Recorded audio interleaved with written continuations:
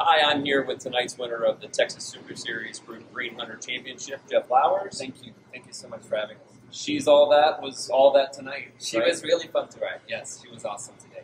She was awesome last year, so we came back very confident for this, and she just did it again. The marathon. So, how much does that knowledge of, of her and having ridden her in a lot of these championships come into play? It helps a lot. It helps the nerves, especially when you have to come back like at the top, so last in the order, and you have like a 90 and an 89 right ahead of you.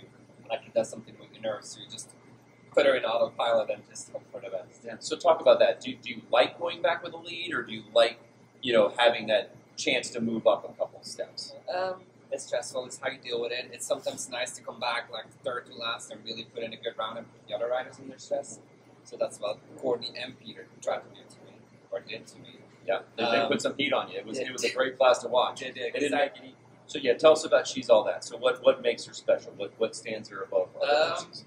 Well, she showed up at our barn two years ago. I think Linda Yarborough out, out of San Antonio owns her, and she put her in our system with us and Peter and I in the business.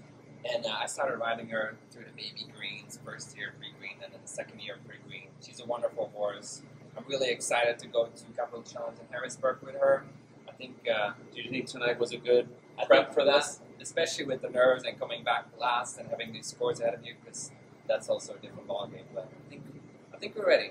We're trying to do good. Well, best of luck up there. So Fantastic much. job tonight. It was a pleasure to so watch. much. I appreciate that. Congratulations. Thank you so much.